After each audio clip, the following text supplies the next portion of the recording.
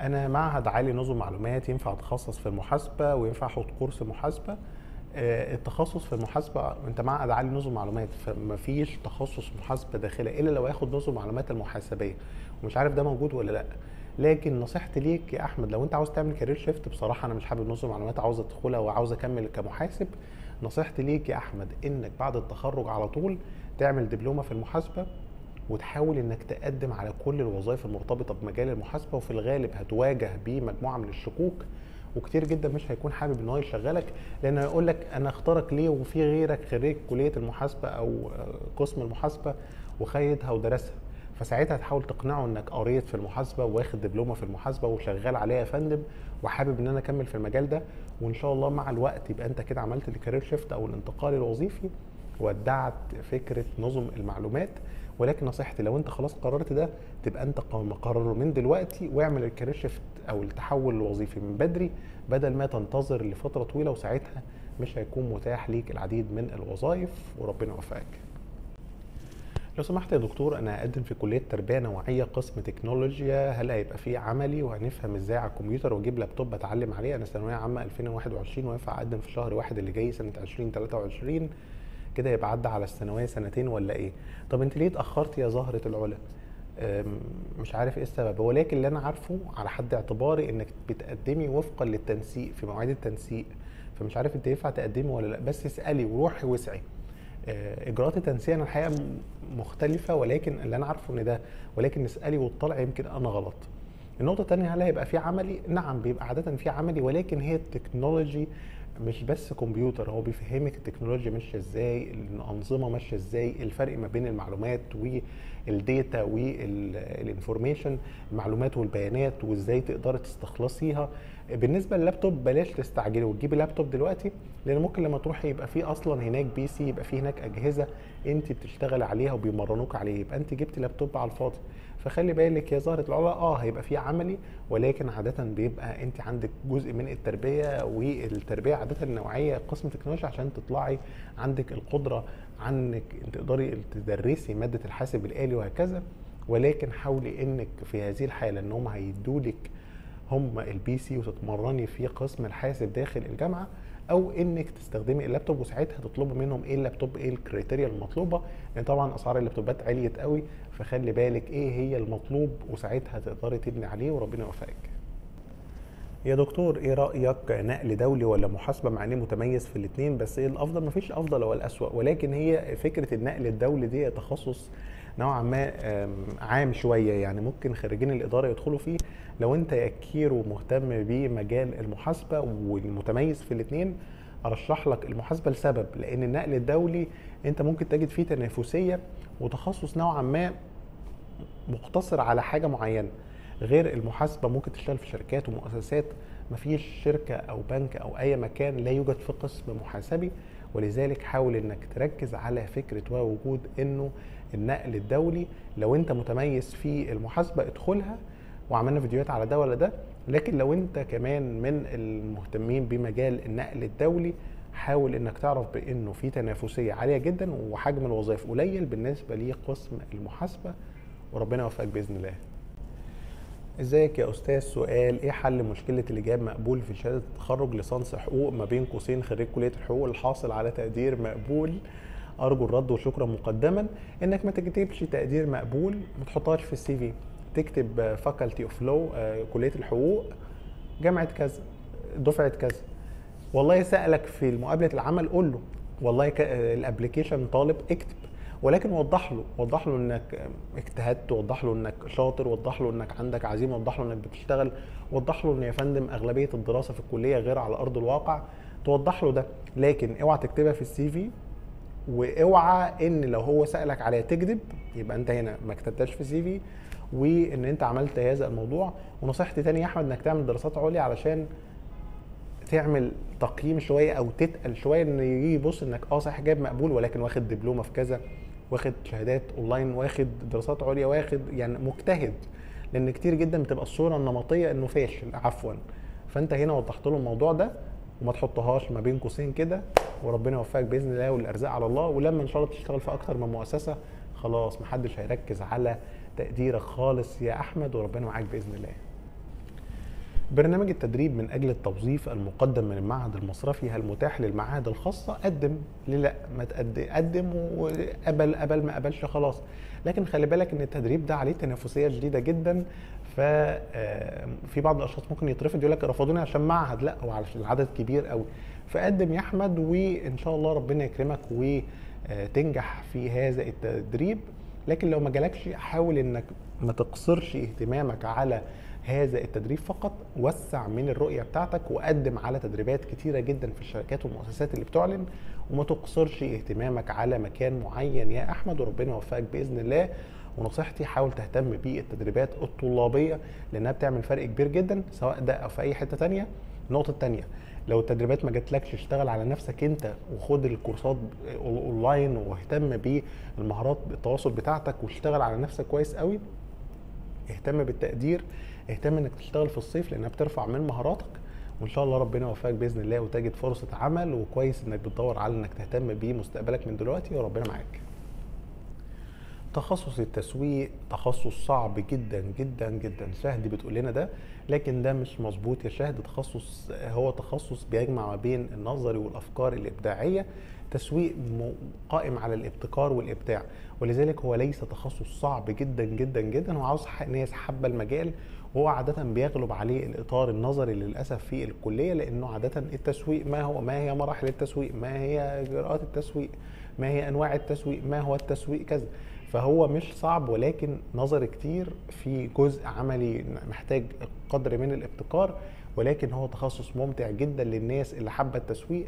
وهيعلمك حاجات كتيرة قوي يا شاهد عن إزاي تقدري تسوقي منتج إزاي يكون عندك القدرة على إنك تفهمي الحملات الإعلانية. يا ترى التسويق بس الناس فاكرة التسويق هو اعلان لأ التسويق مش بس اعلان فهيفهمك وهيعرفك حاجات كتيرة جدا جدا. فخلي بالك إن يكون عندك القدرة على الفهم على ده. وربنا يوفقك بإذن الله يا شهد ويوفق الجميع. نفسي أسافر بره مصر فهل القسم ده مطلوب؟ خريج أكاديمية MIS أكاديمية السادات للعلوم الإدارية قسم نظم المعلومات الإدارية. هل ده ممكن يأثر عليا في إيجاد وظيفة؟ لا الوظائف موجودة خارج مصر ولكن هي الفكرة لو حضرتك هتشتغل في مجال نظم المعلومات فخلي بالك يا محمد إن في تنافسية شديدة في سوق العمل على هذا القسم لأنه كتير جدا من العاملين في الخارج هم محترفين في الحاجات الـ technical قوي فخلي بالك يا محمد إن في تنافسية شديدة في الخارج ولكن فرصك موجودة في الخليج موجودة ولكن اهتم باللغة الإنجليزية. كمان اهتم لو أنت مهتم بالبلدان الخارجية إنك حاول إنك تهتم إنك تدخل في مجال معين وتختار من مجالات النظم تشتغل عليها يكون الكواليتي بتاع شغلك كويس. بكده هتقدر إنك تجد فرص عمل في الخارج ودي من الحاجات المهمة لكن الفرص موجودة في سوق العمل سواء المحلية أو في الخليج. ولكن التنافسية عالية فحضر نفسك من دلوقتي. سائق في البنك لسه متعين جديد. هل لو في الأرباح بنك مصر؟ لا ما دام متعين جديد مش بيكون ليه في الأرباح لازم يحول عليه الحول لازم يعدي عليه سنة علشان يحصل على الأرباح. وكتير جدا بيبقى بيحصل على الحاجات اللي بتنزل بقى لو في حاجات زي منح ربع سنوية أو حاجة لازم برضك تعدي مدة معينة. وعادة بشكل معين بشكل واضح أغلبية العاملين في البنوك والمؤسسات الاقتصادية لازم يحول عليه سنة كاملة لأن بيقول لك إن الأرباح دي بتاعت ميزانية سابقة. يعني أنت تعينت في 8 20 22 الميزانية هي اعتمدت من 7 20 22 دي بتاعت السنة اللي فاتت السنة المنقضيه فأنت لأ هتبدأ بقى معانا سنة اللي هتاخدها بقى تبدأ تاخد فيها كل ما يتطلبه هذا الأمر. لكن كل ما يتعلق بالسنة السابقة ليس لديك أي شيء بخصوصها وليس لديك أي حاجة تدخل فيها يا فندم. فخلي بالك من الموضوع ده وربنا يوفقك بإذن الله. إيه الفرق ما بين الدراسات العليا والدبلومات والماجستير؟ الدراسات العليا هي دراسات عليا هي ما بعد الدراسات الأساسية. زي دراسات ثانوي خلاص فما فوق هي تسمى دراسات عليا. لكن إحنا اصطلاحا بنسمي الدراسات العليا ما بعد البكالوريوس أو الليسانس لكن أنا بقول لك الصح. طيب أنا دلوقتي حصلت على درجة البكالوريوس في إدارة الأعمال. عاوز أعمل دراسات عليا. دراسات عليا بالمفهوم العام دلوقتي هي ما بعد هذه البكالوريوس. دبلومة ماجستير دكتوراه. طيب إيه الفرق؟ الدبلومة يا يوسف هي حاجة ممكن الكل يدخلها. أنا خريج طب وعاوز آخد دبلومة في إدارة. أنا هدير مستشفى فيقدر ياخد دبلومة. اذا هنا مش بيشترط حاجة معينة ولذلك أغلبية الدبلومات بتكون سهلة في الشروط بتاعتها. يقول لك إن أنت حاصل على مؤهل عالي التكلفة بتاعتها كذا أحيانا بيطلب منك مستوى لغة. لو تدرسها باللغة الإنجليزية ويكون موقفك من التجنيد واضح بالنسبة للذكور. بس الموضوع سهل جدا. الماجستير بقى لا ما ينفعش حد يدخل ماجستير إلا لما يكون تخصصه الأساسي تابع للتخصص ده. يعني ما ينفعش أقدم على ماجستير إدارة الأعمال على طول إلا لما يكون حاصل على إدارة بكالوريوس إدارة الأعمال لأنه دي حاجة تكميلية على إدارة الأعمال. الدكتوراه هكذا ما ينفعش إن ياخد التري هي الشجرة. التخصص بتاعك بكالوريوس آه، ماجستير دكتوراه. طيب أنا بقى عاوز أعمل تحويل. أنا دلوقتي عاوز آخد إدارة الأعمال وأنا أصلا تخصصي كان اقتصاد. ساعتها خد دبلومة يشترط الجامعة دبلومة. زي جامعة عين شمس تشترط دبلومة. تشترط إنك تجيب في دبلومة جيد جدا أو امتياز علشان تقدر تقدم على ماجستير. ولذلك هتلاحظ إن من شروط الماجستير لا إما تكون حاصل على المؤهل الأساسي بتاعك إدارة أعمال أو حاصل على دبلومة بتقدير جيد جدا على الأقل للتقديم في الماجستير. ولذلك تبقى أنت هنا عرفت اللفة ماشية إزاي يا يوسف ونصيحتي ليك حاول إنك تهتم تدخل مجال معين ولما تدخله إن شاء الله تبدأ ساعتها تفكر في الدراسات العليا. بلاش تفكر فيها من دلوقتي علشان يمكن بعد كده ما أحبش المجال ده أو هو اللي دخلني فيه. فساعتها تبقى أنت محدد أمورك بشكل واضح. عادي ياخد دورة من الكمبيوتر ولا لازم من مكان هيعطي شهادة؟ لا مش لازم خاصة في الحاجات الكمبيوتر. لأن الناس لما تيجي تقول لها إن أنا شاطر في الـ Excel أو في الـ Office أو في الـ PowerPoint أو في أي حاجة من حاجات الـ Office أو الـ Excel عادة بيبقى حابب إن هو يهتم بحاجة واحدة إن أنت تقدر فعلا تشتغل عليه. لو أنت جبت له إن أنا واخد شهادة عملت course أو خدت course في الـ Excel أو في الـ PowerPoint أو في الـ Office من مكان معين هل ده هيفرق معاه؟ لا. اللي هيفرق معاه هو إنك تكون فعليا قادر على الأداء لهذه الوظيفة. ولذلك نصيحتي دايما للناس اوعى تضيع فلوسك في حاجات ممكن تاخدها اونلاين وبشكل كبير جدا زي حاجات الـ Office مثلا. كلها الـ Excel اللي ممكن تتمرن عليه في البيت وفي شرح عظيم جدا. ما تقوليش جيب لي ترشيحات اعمل search على جوجل وعلى اليوتيوب هتلاقي ترشيحات كتيرة.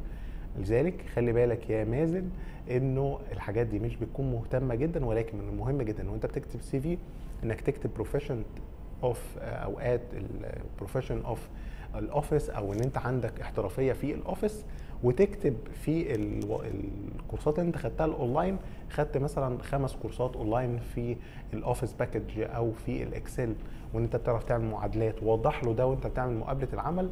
اذا هنا أنت عرفت إنك ترد عليه وفي نفس الوقت أثبتت له إن خدت حاجات كتيرة أونلاين لأنه في الوقت الحالي الحاجات دي بقت متوفرة أونلاين وما بقاش حد حابب إن هو ياخدها ويدفع فيها فلوس. فده إجابة سؤالك. عادي أكتب باللغتين في نظام مراجعة الـ ATS هل إن أنا عادي إن أنا أكتب الـ CV بتاعي باللغتين اللغة العربية أو اللغة الإنجليزية؟ الجواب هو لأ. الأفضل هو الكتابة باللغة الإنجليزية فقط لأن نظام الـ ATS لا يتعرف حتى هذا الوقت على اللغة الإنجليزية. ولذلك يا أستاذ أو استاذه أوصاف من المهم جدا إنك تركز على إنك تكتب الـ CV بتاعك باللغة الإنجليزية علشان يقدر يقراه النظام الـ ATS ولازم نراعي كمان حاجة مهمة لازم نراعي إنه اللي إحنا نعمل الـ PDF ويكون PDF وليس صورة يكون الـ CV PDF وليس صورة. ونلاحظ هنا إن يكون الكلام واضح وسهل ونبتعد عن السير الذاتية الحديثة لأن ده بيشتت نظام الـ ATS ونستخدم الـ keyword يبقى إحنا كده عملنا جزء مهم جدا نستطيع بيه إن إحنا نستخدمه في نظام الـ ATS والمستخدم في مراجعة السير الذاتية في الوقت الحالي من مختلف الشركات والمؤسسات الكبيرة. علشان يبقى معايا درجة الماجستير بعد معهد عالي نظم معلومات هحتاج كام سنة؟ تحتاج يا عمرو إنك تتخرج اولا من الكلية وبعد ما تتخرج تقضي الجيش بتاعك، بعد ما تتخرج تقدم على شوف انت بقى المكان اللي انت هتقدم فيه، شوف انت مثلا لو تعرف تعمل دبلومة مثلا انت عاوز درجة الماجستير فين؟ عاوز مثلا ماجستير في إدارة الأعمال ساعتها خد دبلومة الأول. لأن عاده جامعة عين شمس مثلا تقول لك انت انت دلوقتي مش خريج تخصص إدارة الأعمال ولا كمان تخصص الجامعة بتاعتي. اذا خد دبلومة إدارة أعمال وجيب تقدير جيد جدا في أعلى. ساعتها تقدر تدخل الماجستير. يبقى اذا دبلومة سنتين. بعد كده تدخل على درجة الماجستير. الماجستير عادة بيكون سنتين يبقى أنت كده أربع سنوات تمضيهم حتى تحصل على درجة الماجستير في إدارة الأعمال وبكده يبقى أنت حصلت على درجة الماجستير. لكن نصيحتي يا عمرو إنك حاول إنك الأول تدخل المجال أنت حابه إدارة الأعمال أنا حابب المجال ده ولا لأ علشان قبل ما تمشي في طريق الماجستير حرام تمشي الطريق طويل زي ده بدون ما تكون حسمت الموضوع من البداية. علم الاجتماع يتبع أي نقابة؟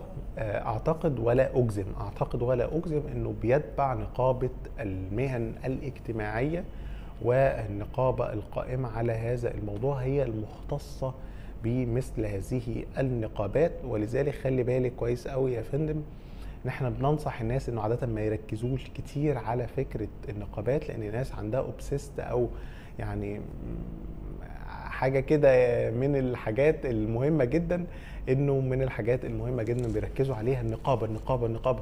ولكن هي نقابة المهن الاجتماعية وابحثي ودوري برضك وتأكدي من المعلومة ولكن نصيحتي إنه ما نركزش كتير لأن عادة بيبقى طالبين مننا ورق وطالبين مننا مصروفات ومطلوب مننا تكاليف وفي الآخر بنجد إن المعاش في النهاية 10 جنيه و20 جنيه و50 جنيه.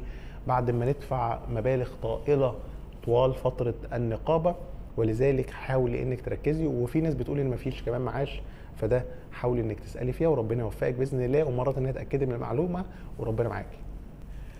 في الـ semi formal ينفع قميص أصفر مع بنطلون جينز أسود وجزمة سودا بلاش القميص الأصفر خليه قميص أبيض. يبقى كده semi formal كويس قوي.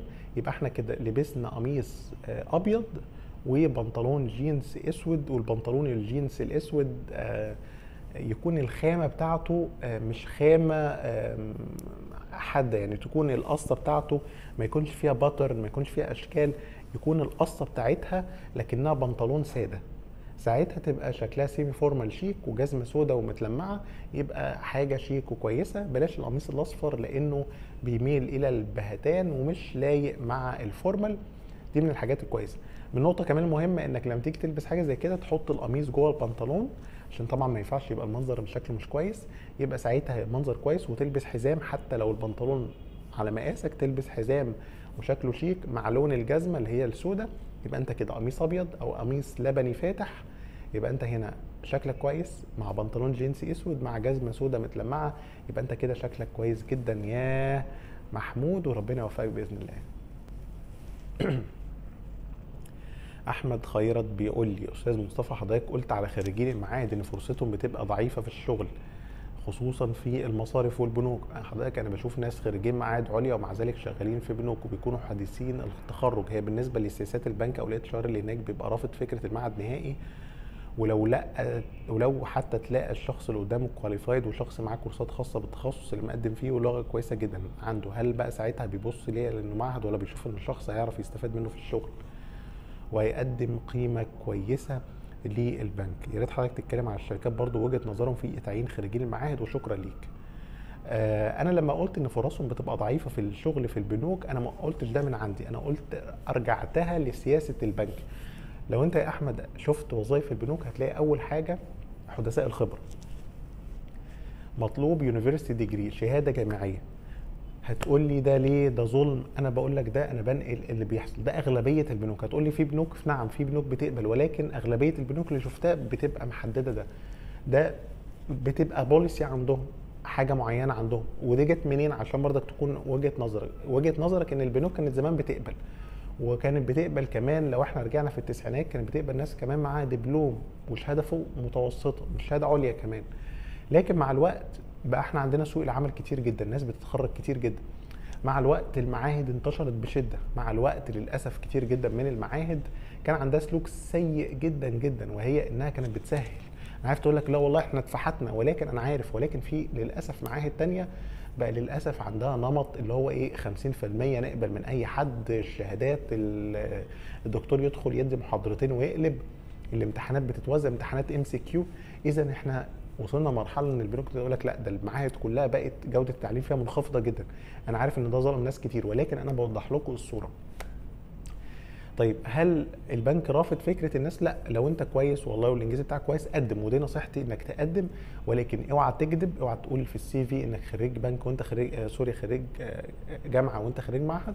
لأ اكتب وقدم عادي. والله جات لك لأ هم شافوا يبقى أنت كده عملت اللي عليك وقدم وانجح. عندي نقطة كمان مهمة، إيه فكرة ال qualified؟ لأن خلي بالك الشخص حديث الخبرة هو مفيش qualification كتيرة، إنجليزي كويس ويعرف يعدي الاختبارات ولبسه كويس وخلاص هو دي ال qualification. لكن لو أنت تخصصت في تخصص معين ساعتها هنبص عليك، ساعتها يبقى أنت دخلت مجال معين HR مثلا وقعدت سبع سنين ورحت شركات كبيرة ومؤسسات. ساعتها تبقى أنت فعلا معاك شهادات في المجال بتاعك. ساعتها تبقى أنت فعلا ماسك position عارف إن إحنا caliber مهم. لكن في ركن حدثاء الخبرة خلي بالك إن الدنيا بتبقى واسعة جدا لأن مفيش أنت هتعرف تعمل الشغل ده خريج الجامعة يعرف خريج المعهد ده يعرف خريج الاعتماد ده يعرف فما فيش qualification أو criteria أو آه، إجراءات أو مهارات مطلوبة معينة. فده وجهة النظر يا ساعتها يا أحمد إنك ما تفقدش الأمل. لو ما جاتلكش الفرصة في البنك في ركن حدثاء الخبرة اشتغل على career معين واشتغل في الشركات والمؤسسات الكبيرة وساعتها لما البنك يعلن ساعتها تدخل وربنا يوفقك بإذن الله وأنت ساعتها هتكون ليك الكفاءة والخبرة في المجال. النقطة الثانية الشركات. هل ليهم وجهة نظر؟ في بعض الشركات كده وبعض الشركات الاكثر لأ. هم بيهتموا إن الشخص يكون عنده إتقان عنده قدرة على العمل. فالشركات لأ بيبقى فيها نسبة براح أكتر ولكن أنا بتكلم على البنوك لأنه عندهم بعض التشدد وكمان تشدد في حاجة تانية التقدير. يقول لك أقل من جيد ما بنقبلش. بتشوفها كمان برضه حتى لو خريج جامعة. فخلي بالك هو البنك حاطط شوية criteria كده معينة وعلى فكرة في بعض البنوك بتشترط إنك تكون تجارة إنجليزي بس ساعات بيقولها وساعات ما بيقولهاش يقول لك English section only هو بيشترط ده بشكل واضح. أو بيقول لك prefer وفي الغالب بيرفض الناس اللي مش تجارة إنجليزي. فخلي بالك هم ليهم قواعدهم ولكن أرض الله واسعة ودايما يبقى عندنا plan B و plan C خطة تانية وخطة ثالثه ودايما ما نقصرش اهتماماتنا على البنوك وشغل البنك وخلاص مستقبل اتدمر لا أرض الله واسعة والأرزاق بيد الله يا أحمد. ونصيحتي ليك اجتهد وتخرج وانت مش أقل من غيرك. جيب تقدير عالي وقدم. والله ربنا كرم هنا لم يأذن كرم في حتة تانية. يبقى إحنا عندنا توسيع في المهارات والقدرات بتاعتنا وربنا معاك يا أحمد ويوفقك. لو سمحت إيه هي كلية إدارة كليات إدارة أعمال في مصر حكومية وإيه تنسيقها؟ وهل الكليات دي ادبي ولا علمي؟ بشكل واضح جدا كل كليات التجارة في مصر الحكومية فيها قسم إدارة الأعمال. ولذلك ده حاجة أساسية دلوقتي في أغلبية كلية تجاره يعني محاسبة إدارة أعمال. هتلاقي بقى في بعض الجامعات تلاقي فيها اقتصاد موجود تلاقي في دي نظم موجود دي ما فيهاش. لكن بشكل واضح كلهم فيهم إدارة أعمال وكلهم فيهم قسم المحاسبة. لكن بتختلف بقى بعض الحاجات. في بعض الجامعات بتخلي التنسيق من الفرقة الثانية في بعض الجامعات بتخلي التنسيق من الفرقة الأولى. في بعض الجامعات بتخلي التنسيق من الفرقة الثالثه أو الرابعة. فده بيختلف من جامعة لأخرى والتنسيق بيختلف من عام إلى اخر الكليات دي من أدبي ولا علمي هي من تقبل من الادب والعلم لأنها كلية تجارة. كلية تجارة بتقبل من القسم الأدبي وكذلك من القسم العلمي وبتختلف التنسيق من سنة إلى أخرى. فهي ده عامل الفرق. في بعض الجامعات الخاصة بتكون كلية إدارة أعمال بالكامل الأربع سنوات بتدرسها فهنا بيكون الفرق واضح ما بين الكليات الحكومية والكليات الخاصة وأتمنى أن أكون أفدتك في هذا الموضوع. لو سمحت هو المعهد العالي بالمحل للإدارة بالمحل الكبرى شهادته معتمدة. أنا ما عنديش مرجع لكل المعاهد والأكاديميات الناس بتسألني عليه لكن نصيحتي يا ولي يا محمد تسأل في المجلس الأعلى للجامعات تدخل على جروبات الفيسبوك بتاعة المعهد واللي الناس اللي درست فيها وتسأل الناس أكتر من حد. يا جماعة الشهادة دي معتمدة يا جماعة شهادته معتمدة اسأل اطمن. قال لك لا معتمد. قال لك لا معتمد. ده معتمد. ادخل على الخاص وابعت لهم وابعت قالوا لا على فكرة معتمده يبقى أنت هنا وصلت إن فعلا معتمدة. اسأل كمان هل هي موجودة في التنسيق ولا لأ. بتدي لك شهادة عليا ولا شهادة فوق متوسطة؟ في بعض المعاهد تقول لك شهادة عليا وتكتشف إنها فوق متوسطة ويقول لك سنتين لأ أربع سنوات. كل الحاجات دي من الحاجات اللي ممكن تتأكد فيها بإن المعهد فعليا بيدي لك شهادة عليا. أربع سنوات معتمد من المجلس الأعلى للجامعات بيدي إعفاء من التجنيد. كل الحاجات دي مؤشرات بإن المعهد معتمد. بخلاف ده أو لو في واحدة مش موجودة خلي بالك إن في بعض المشاكل اللي لازم تخلي بالك منها. لو سمحت وأنا قسم محاسبة شعب عام ده يتكتب إيه في البطاقة؟ يا عبد الله لو انت خريج كلية التجارة فبتكتب بكالوريوس تجارة جامعة حلوان جامعة عين شمس جامعة القاهرة. لو انت معهد محاسبة يتكتب بكالوريوس كذا معهد محاسبة أو معهد المقطم وهكذا المعهد المكتوب. لكن لو انت بتدرس معهد تجاري يبقى المعهد تجارة وهكذا. التخصص ده مش بيتكتب بشكل كبير في البطاقة. أنا عارف إن في ناس كانت بتكتبها زمان ولكن أغلبية البطاقات اللي أنا اطلعت عليها في الوقت الحالي بيتكتب فيها بكالوريوس تجارة جامعة كذا. ما بيكتبش التخصص. لو أنت هتكتب التخصص هتكتب التخصص قسم المحاسبة. لو ده متاح هتكتب قسم المحاسبة. اذا هتكتب هنا كلية التجارة قسم المحاسبة أو قسم المحاسبة العام وده اللي انت ممكن انت تعمله في البطاقة. ولكن نصيحتي ليك يا عبد الله ما تركزش أو على حتة البطاقة. حاول إنك تركز على إنك اوريدي تتخرج تركز على الكلية بتاعتك تجيب تقديرات. بلاش نركز كتير قوي في موضوع البطاقة لأنه بيشغل حيز كبير جدا وملوش معنى خالص. بعد إذنك أرجو الرد لو شخص حصل على ماجستير في مصر يقدر يحصل عليه في الخارج مرة أخرى سواء في نفس التخصص أو تخصص آخر.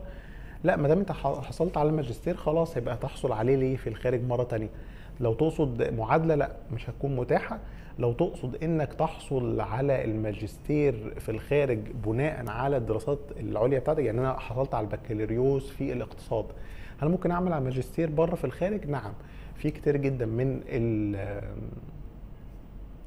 ال اليونيفرستي أو الجامعات الأجنبية بتقبل ده.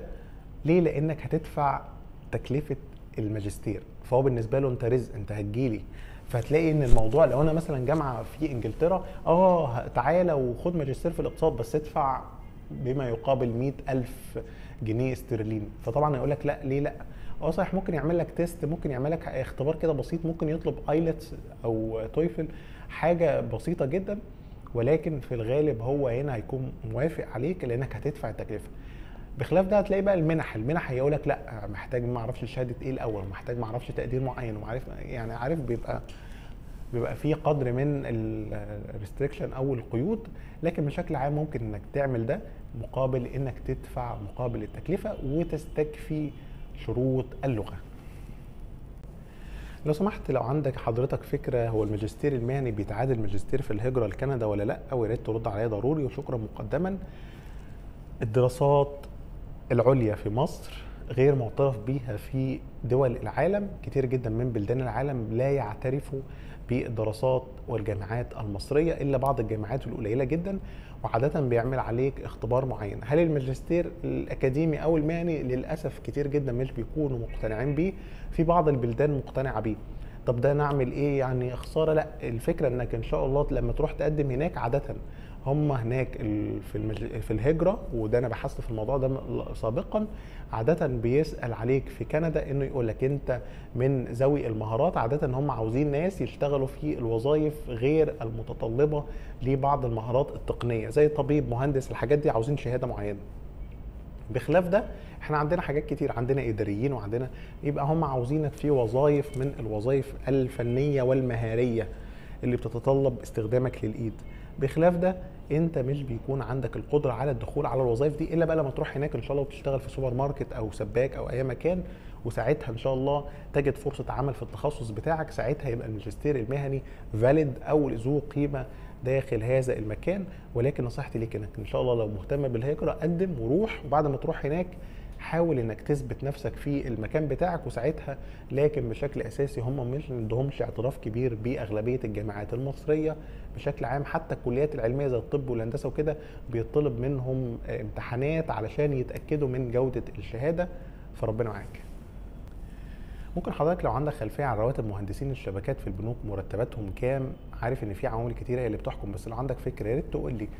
يا عمرو هي أو يعني مش عارف يا عمرو أو يا AMR anyway خلي بالك يا فندم إنه ده بيختلف من بنك لآخر. في بنوك بتدي مرتبات وفي بنوك ما بتديش مرتبات. لكن لو إحنا نقول مثلا هتشتغل في البنك الأهلي مثلا اذا أنت هنا هتشتغل على الرواتب اللي محطوطه للموظفين. أنت أكيد مش هيكون أنت كمهندس شبكات مختلف عن رواتب لأنها بتبقى scale واحدة. فرواتب حدثاء الخبرة ممكن ياخد الصافي مثلا نقع على سبيل المثال 5400 ممكن تزيد. طبعا مع التضخم ممكن البنك يرفع غلاء الحياة مش عارف دلوقتي كام. ولكن هتلاقيها في ال range ده طبعا ده البنك الأهلي. لكن في بعض البنوك الثانية لا هو البنك صغير فممكن مثلا توصل 4000 جنيه. اذا أنت هنا على ال scale بتاع المرتبات بتاعة الموظفين العاديين أنت بتاخد. طبعا في بعض البنوك بتخلي المصرفيين رواتبهم أعلى من الإداريين. ولذلك يا أستاذ الفاضل حاول إنك تعرف بأنك بتاخد الرواتب الموضوعة على ال scale أو الحيز أو المقياس الخاص بالموظفين داخل البنك وده بيختلف من بنك لآخر وفقا للبنك. هل هو كبير؟ هل هو بيدي مرتبات عاملة إزاي؟ وهكذا. ممكن لو رحت إن شاء الله في بنك السي آي بي تاخد رواتب أعلى. وهكذا. أتمنى إنها تكون فهمتها ونصيحتي ليك. ركز إنك تجتهد في المجال بتاعك وساعتها الشركات والمؤسسات إن شاء الله هتكون حابة إنك تشتغل فيها وحتى لما تقدم هتكون عنصر جيد ولكن ركز في الشغلانة بتاعتك وربنا يوفقك بإذن الله. مش ممكن يتكتب في البطاقه بكالوريوس تجارة مش نظم معلومات لو معهد عالي لا يا مؤمن. لو أنت آه، معهد نظم معلومات هيتكتب في البطاقة بكالوريوس نظم معلومات معهد كذا كذا كذا. ما بيتكتبش بكالوريوس تجارة لأنك مش خريج تجارة أنت خريج نظم معلومات. فخلي بالك يا مؤمن وكمان مش هينفع يكتب حاجة بخلاف المعهد أو. يعني مش هينفع يكذب لأن هو بيبص بيطلب منك الشهادة وبياخد الوصف مكتوب بكالوريوس نظم معلومات بيكتب بكالوريوس نظم معلومات معهد كذا معهد التعاون معهد معرفش إيه بيكتب هذا الموضوع وفقا لده ولا يغير فيه ونصيحتي ليكم ونصيحته للناس كلها بلاش التركيز ال obsessing بلاش التركيز الشديد على فكرة في البطاقة. وعاوز أمشي في البطاقة يتكتب من ورا بكالوريوس تجارة بدل معهد أو بكا- بكالوريوس نظم معلومات. لا أنا عاوز تجارة عشان أقدم في الوظائف. ولا بتفرق في الوظائف ولا بتفرق في أي حاجة. ومحدش هيبص على البطاقة بتاعتك. الناس بتبص إلا لو أنت كدبت ودي مشكلة ودي مصيبة. فركز يا مؤمن على إنك تركز في دراستك وتسيب موضوع البطاقة ده. وخلي بالك إن شاء الله ربنا يوفقك بإذن الله وبالتوفيق. أنا في معهد عالي لغات مصر الجديدة قسم روسي. هل ليا مستقبل زي كلية الألسن ولا لأ؟ آه، أحمد محمود. آه، لأ ليك مستقبل إن شاء الله. ولكن خلي بالك يا أحمد إن اللغة الروسية بطبعها ما عليهاش طلب كبير زي اللغة الألمانية. كمان من الحاجات المهمة هي فكرة ووجود إن الاقتصاد الروسي نعم كبير ولكن الحجم المحلي كبير. لكن ما زال الطلب على اللغة الروسية موجود في مصر وبكثرة. لسبب لأن إحنا عدد السياح الروس في مصر عدد كبير جدا جدا. ولذلك يمكن لك إنك تستخدم اللغة الروسية كتور جايد كتشتغل في السياحة في الحاجات دي هتجد ليها فرصة عمل. لكن لو أنت مهتم إنك تسافر بره مصر هتلاحظ إن التنافسية عالية جدا وفرص العمل قليلة. لكن الخبر الإيجابي أحمد إنك ممكن تعمل career shift كمان وتنتقل إلى أي مجال من مجالات الإدارة HR marketing الحاجات دي. ولكن أنت هنا تبقى محتاج إنك تعمل دبلومه بكده أنت عملت التحول إلى المجال الجديد. ولكن لو أنت حابب تكمل في روسي وحبه خلي بالك بإن فرص العمل بتكون فيها تنافسية شديدة وحجم العمل بخلاف اللغة الألمانية ليس كبيرا في الخارج مثل اللغة الروسية. ممكن أعرف مجالات شغل إيه متاحة للطلاب؟ عادة ما بيكونش في مجالات شغل كتيرة متاحة للطلاب. مش هتشتغل محاسب أو إداري أو اقتصادي لأنك لسه بتدرس. ولكن في كتير جدا من الشغلانات بتبقى متاحة زي reception زي call center في بعض المؤسسات بتقبل ده في بعض المؤسسات بترفض تقول لك لازم يكون خريج. إنه كمان يشتغل في المطاعم يشتغل في الأماكن يعني يشتغل بقى أعمال حرفية أو فنية. يشتغل كل أمن كل الحاجات دي ممكن إن هو يشتغلها كطالب. ونصيحتي حاول إنك تشوف حاجة قريبة من بيتك تسأل محل ملابس مثلا. حضراتكم عاوزين حد يشتغل عندكم؟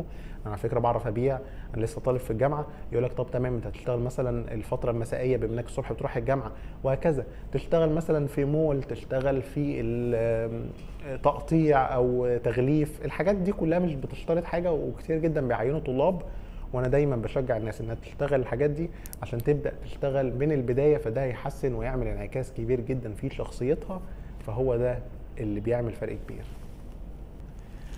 من أسوأ الحاجات اللي كانت بتحصل معايا لما بروح أعمل مقابلة عمل ويتركونا لوقت طويل جدا عشان نعمل مقابلة شخصية. وفعلا كنت بحرص دايما إن أكون وصلت قبل المقابلة بربع ساعة.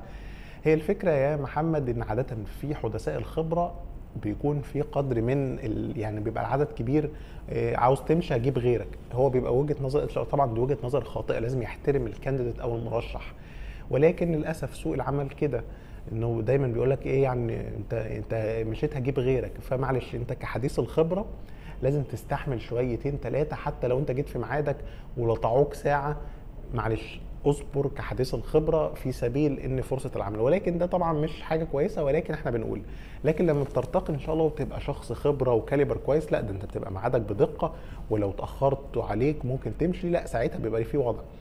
ولذلك احرص زي ما إحنا اتكلمنا في الفيديو إنك تيجي الوقت المثالي قبل مقابلة العمل. هو دلوقتي قال لك تعالى الساعة 9 عندك مقابلة عمل يبقى 9 إلا ربع تكون عنده. طب أنا من سفر لازم أظبط الوقت مش هعرف أجي 9 إلا ربع يبقى تعالى بدري وامشي في المكان كده قرب روح أي كافيتيريا روح أي مكان واطلع بالظبط 9 إلا ربع عشان تمضي ال application وتعمل الورق بتاعك يبقى أنت بالظبط على الوقت. لأن عاده بيديك أنت الساعة 9 قبليك بيدي حد الساعة 9 إلا ربع قبليك الساعة 8 ونص وهكذا. هو عامل فرق ربع ساعة بيعمل انترفيوهات علشان الناس ما تتكربسش وتقعد بره فلما انت تجيله الساعة 8 وتفضل قاعد له بيحس طبعا بتوتر.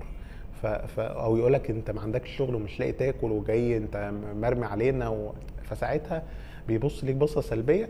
احضر قبل المقابلة بربع ساعة كويس جدا وإن شاء الله ربنا يوفقك. وعادة حديث الخبره يصبر شوية وربنا يوفقكم بإذن الله.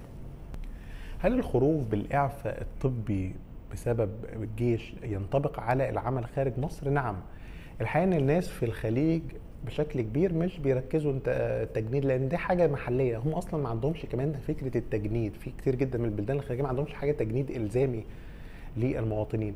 فهو ملوش دعوة. الحاجات دي هتأثر عليك أنت في الخروج والدخول. ولكن هو بس هيبص في السي في بتاعك أنت كاتب إن التجنيد بتاعك إعفاء طبي. فحاول توضح له أيضا إن الإعفاء الطبي مش بسبب إعاقة مثلا لا قدر الله أو بسبب مشكلة كبيرة أو أو. فحاول بس إنك ساعتها ما تكتبهاش في السي في.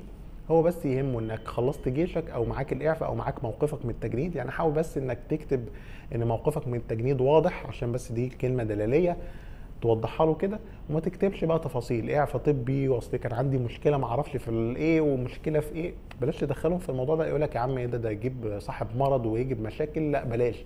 بلاش ترفض نفسك بنفسك. اكتب الإعفاء الطبي أو الإعفاء من التجنيد أو موقف من التجنيد واضح. وضح له كل التفاصيل علشان إن شاء الله تقدر تشتغل. ومبروك عليك الشغلانة من دلوقتي يا محمد. هل خريج نظم معلومات خاص ليه دور في وظيفة البنوك ولا لأ؟ نعم ليه هشام إن هو يشتغل في البنوك؟ كتير جدا من البنوك بيشغلوا نظم معلومات في قسم الشبكات والآي تي وكده ولكن خلي بالك يا هشام إن التنافسية عالية جدا بخلاف ده كمان حجم الوظائف قليل. يعني إيه؟ يعني البنك كام واحد في القسم ده بيبقى محتاج محتاجين 10 20 30 ماشي. ولكن أغلبية التنقل هم موجودين مش بيروحوا ويجوا. هتجد هنا إن التنافسية شديدة جدا وفي نفس الوقت عدد كبير جدا بيتخرجوا من نظم معلومات فبتجد إن في تنافسية عالية.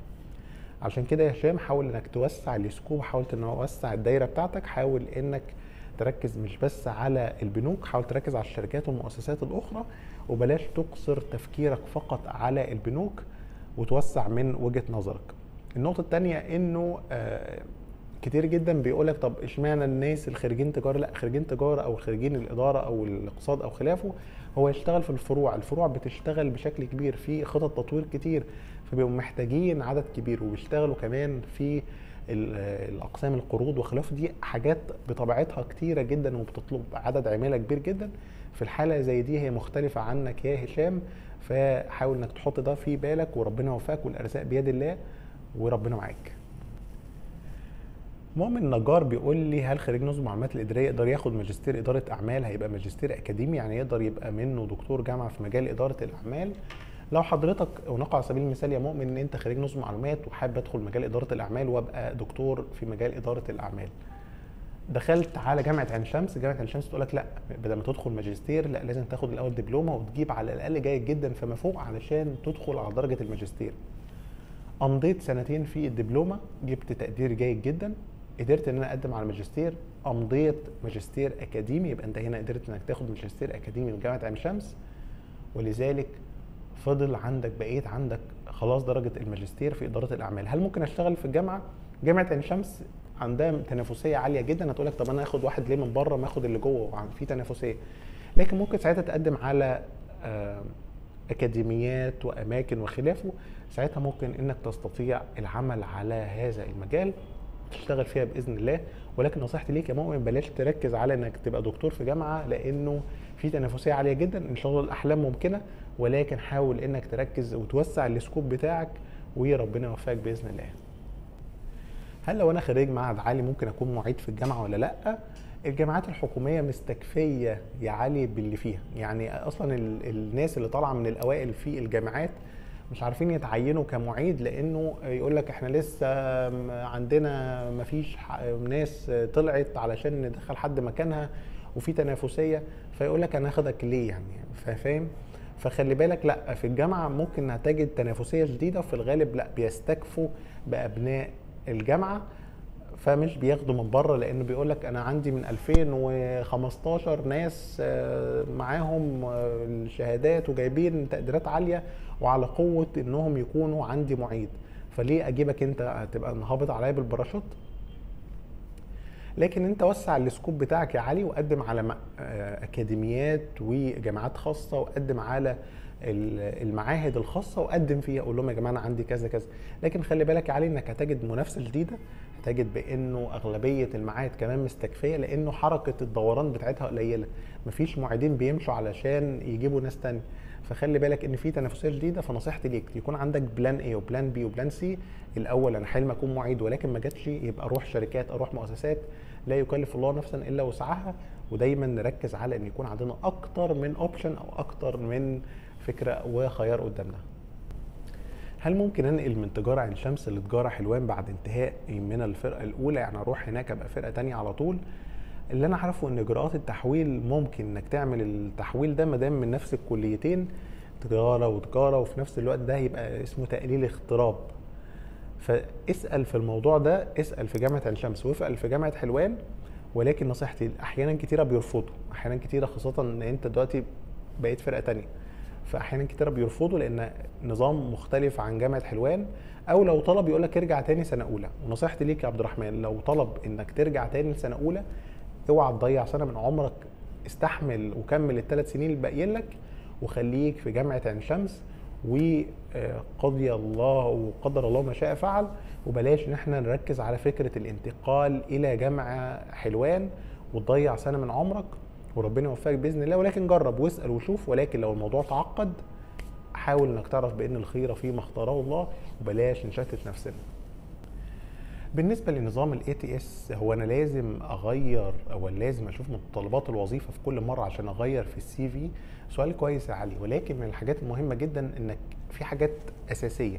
يعني ونقل على سبيل المثال أنت مقدم على وظيفة اتش ار أكيد الاتش ار من ضمن وظائفه إنه بي screen الشغلانات إنه بيعمل واحد اثنين ثلاثة فطبيعي إن هم في نظام ال ATS بيحطوا أغلبية الوصف الوظيفي وأغلبية ال title بتاع الوظائف ونقل على سبيل المثال انت مقدم على وظيفة HR supervisor فطبيعي انهم مثلا ممكن يكتبوا من ضمن ال ATS HR senior senior HR HR manager HR supervisor HR head of HR كل المصطلحات المرتبطة بوظيفة ال HR بيحطها.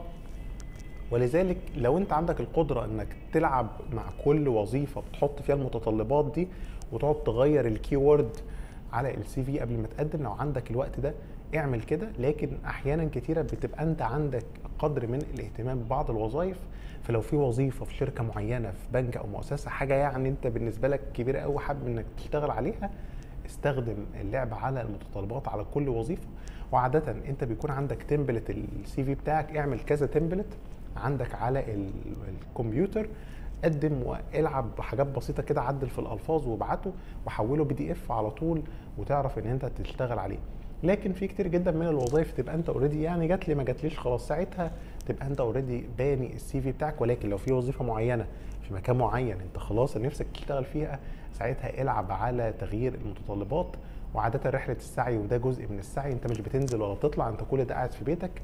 فمعلش يا علي ابدأ غير وفقا لهذا المنظومة. واشتغل عليها وربنا يوفقك.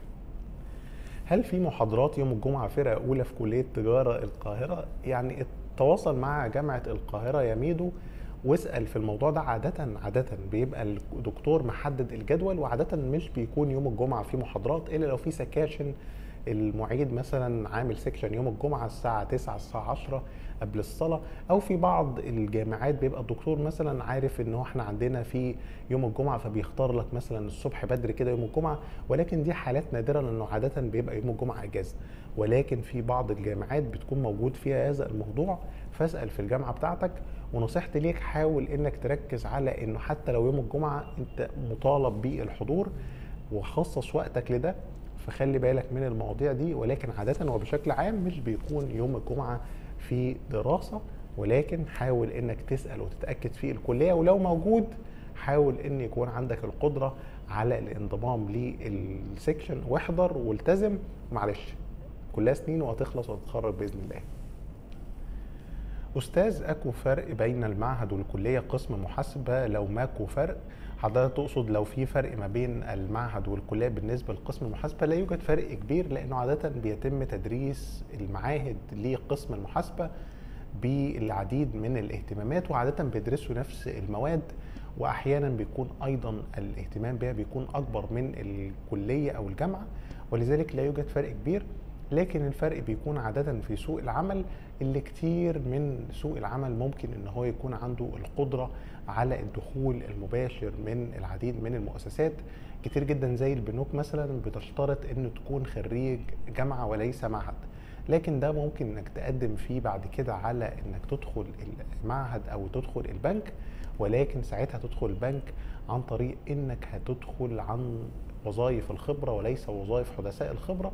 لأنك في الحالة دي حضرتك أو حضرتك بدأت وتجاوزت حتة الحدثاء الخبرة ولكن في ركن حدثاء الخبرة بيكون مطلوب منك إنك تكون خريج جامعة وليس معهد وده مختلف العديد من البنوك ممكن يكون الموضوع مختلف. لو سمحت أستاذ مصطفى إيه رأي حضرتك في وظيفة السكرتارية؟ أفضل أم ال logistic؟ مفيش أفضل أو أسوأ واتكلمنا عن الموضوع ده ولكن هي الفكرة يا سارة وأعتقد إن أنا رديت عليكي على الخاص ولكن أنشرها للعام علشان الناس تفهم ده. إن ال logistic من الحاجات اللي كتير جدا اللي ليها career path ليها تطور وظيفي. يعني إيه يا سارة؟ يعني أنت اشتغلتي في المجال ده بعد خمس سنين ممكن تنتقل لشركة أخرى. على فكرة السكرتاري ممكن تعملي ده ولكن السكرتير ما عندوش حاجة معينة يقدر ان هو يمسك فيها. يعني إيه؟ يعني السكرتير كتير جدا ممكن يشتغلوا ولكن ال logistics لو أنت مسكتي ال career ده واشتغلت فيه واشتغلت في شركات ومؤسسات تستطيعي إنك تنتقلي تبقي مديرة logistics في إحدى الشركات. ولكن هتبقي مديرة مكتب مدير. فخلي بالك يا سارة وإحنا عملنا فيديو عن مزايا وعيوب السكرتارية وإن شاء الله يتنشر قريب على الصفحة. ولكن لو أنت مهتمة بال career path والتطور الوظيفي وبصراحة مش عاوزه شغلانه وخلاص ادخلي logistics لأن بصراحة بيني وبينك أنا عاوز أتجوز وأخلف وإيه أنا أي شغلانة وخلاص وماليش بقى تطور وظيفي والكلام ده. ادخلي السكرتارية شغلانة بسيطة وناعمة وما فيهاش أي حاجة ومش هتكون عندك طلبات كثيرة ترهقك داخل العمل وموجودة في أغلبية الأماكن. هي دي وجهة نظري وربنا يوفقك بإذن الله يا سارة. أنا بحب البرمجة قوي قوي وبتعلمها وأنا صغير بس أنا صنايع وسألت ناس كتيرة قالوا لي ادخل معهد نظم معلومات إدارية بسبب إن هي لها مجال في البرمجة فعاوز أعرف ده صح ولا لأ.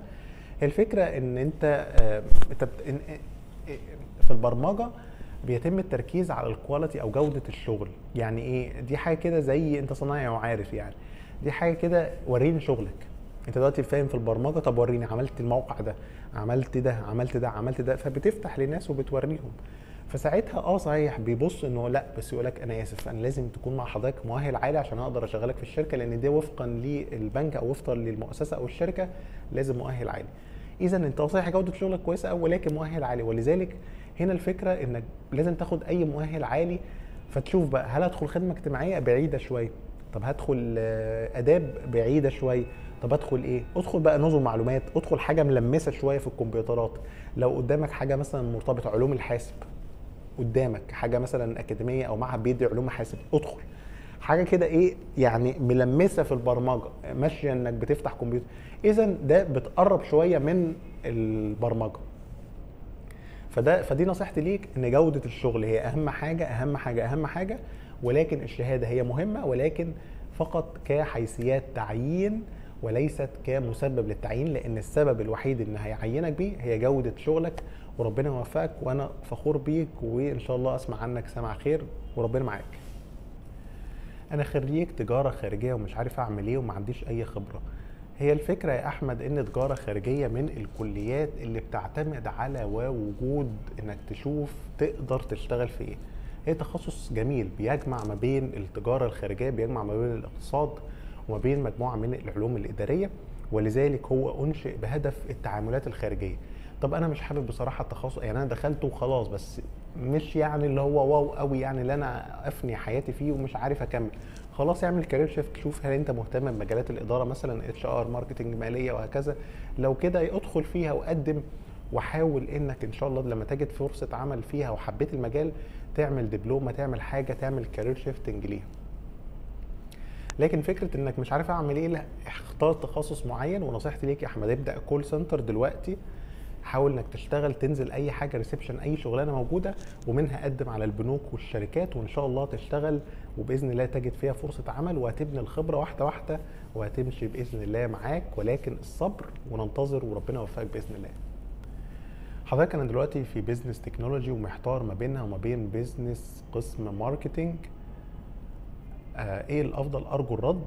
حضرتك دلوقتي محتار ما بين ال business technology وقسم ال marketing هل السؤال يا أستاذي أو يا أستاذ هل أنت بتحب ال marketing ولا لأ؟ لو مش بتحب ال marketing اختار تخصص neutral أو تخصص حيادي زي تخصص ال business technology أو تكنولوجيا ال business لأن ده تخصص حيادي ما دخلناش جوه ال marketing فأنت عليك إنك تختار ده أو لو في حاجة neutral في حاجة حيادية زي إدارة أعمال فقط ادخلها لأن واضح إن حضرتك مش محدد حاجة. ولكن الخبر الكويس إنك في حالة إنك بعد التخرج قررت إنك مش هتدخل هذا التخصص وهتدخل تخصص آخر من الحاجات المهمة جدا في إدارة الأعمال إنك ممكن ساعتها تنتقل إلى تخصص آخر بعد التخرج لأنك اخذت التخصص بتاعك ال major الأساسي هو business ممكن بعدها إنك تدخل دبلومة في ال HR أو ال marketing أو أي حاجة أنت حابب تكمل فيها حياتك وساعتها تقدر تعمل ال career transfer أو التحول الوظيفي إلى القسم اللي أنت حابه.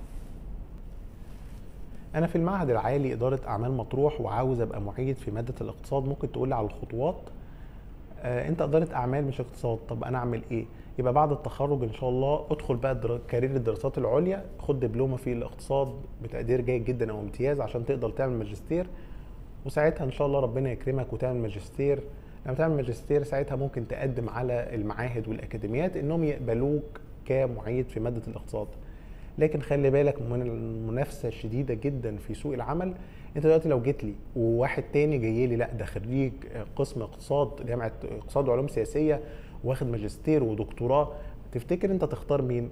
أكيد هختاره هو. فخلي بالك في تنافسية شديده كمان ب... ولكن الارزاق على الله ولكن نصيحتي ليك انك مش بس تركز على فكرة ووجود آه ان خلاص عاوز ابقى معيد ولا لأ وسع ال scope بتاعك وسع الدايرة بتاعتك اشتغل في أكتر من حاجة والله جت ما جاتش يبقى انت عندك plan A و plan B وبلان سي خطط أولى وثانيه وثالثه عشان مش بس ده خلاص أحلام اتحطمت خلاص, خلاص لا عندك أكتر من حاجة وربنا يوفقك بإذن الله.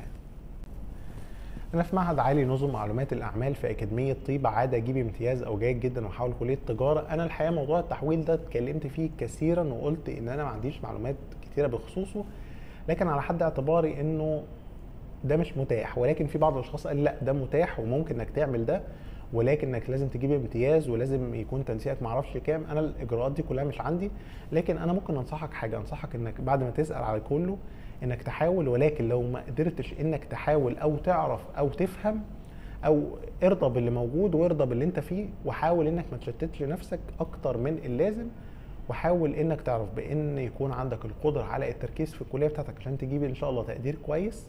وكمان تجيب درجة عالية تقدر بيها إن شاء الله إنك تحقق مستقبل كويس. لأن الناس بتركز على التقدير كويس أو من ضمن الحاجات المهمة وبيركزوا عليها عند التقرير في العديد من المنشآت.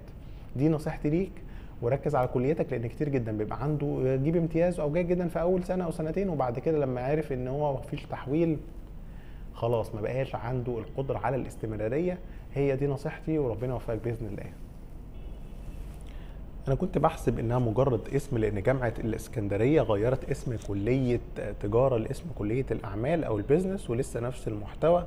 فهل ده يدل إنهم فعلا مجرد اسم أم إن لسه في بعض الكليات متخصصة في إدارة الأعمال؟ لأ في بعض الجامعات متخصصة فقط في إدارة الأعمال. وعادة ده بيكون في الجامعات الخاصة بيكون فيها تخصص إدارة الأعمال بيتم تدريسه لمدة الأربعة سنوات كاملة. وليست كلية بيزنس ولذلك هتلاحظ هنا أو هتلاحظي بأنه ده بتحصل على التخصص بتاعك ودي الفيصل. هي الشهادة في النهاية بتحصل على بكالوريوس إدارة أعمال ولا بكالوريوس تجارة قسم كذا. لو بكالوريوس إدارة أعمال يبقى إحنا هنا عارفين إن هو درس الأربع سنوات بالكامل إدارة أعمال. بينما لو البكالوريوس محاسبة يبقى إحنا هنا كلية تجارة بكالوريوس محاسبة يبقى إحنا هنا عرفنا إنه هو خريج كلية تجارة ولكن قسم المحاسبة أو إدارة الأعمال أو هكذا.